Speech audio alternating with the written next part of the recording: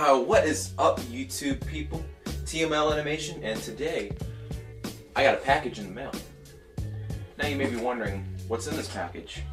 Well, I mean, by now you probably read the title of this video, so you can assume that this is the Last Knight figures. Now I know I'm a little late buying these, but I always buy the ones I need for my project before I buy anything else. But let's get down to unboxing this. Oh, wait. I gotta take a sip of my nice refreshing icy drink. Okay, now let's get down to unboxing these. I'm gonna get my trusty knife. Don't do this at home, kids. I'm just kidding, you can do whatever you want. Play with knives all you want on kids, I don't care.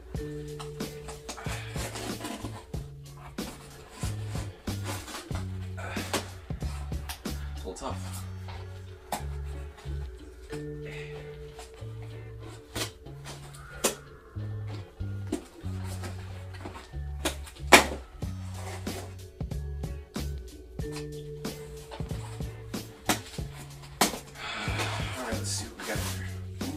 Bubble wrap.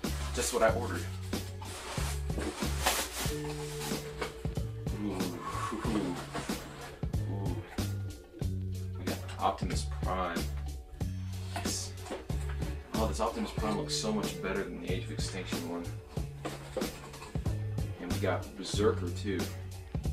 These things are really cool. They look really nice. And then more bubble wrap. Yeah. Man, these things are these things are really cool. I'm probably one of the last ones to get these. I know I've seen everybody else get one, but these things are really cool. Yeah, I really like I really like the new eight new uh, Last Knight things. So yeah, really like these. Um, you'll probably see some pictures on Instagram later. Uh, yeah, so um, expect these, expect both of these in future projects. They'll probably be in my sequel to Prototype WM.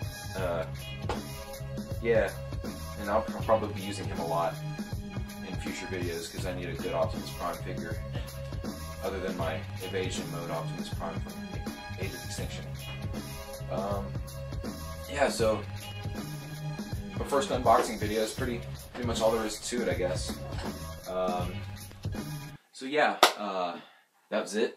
Uh, like, subscribe, and comment on my videos, and stay tuned for more.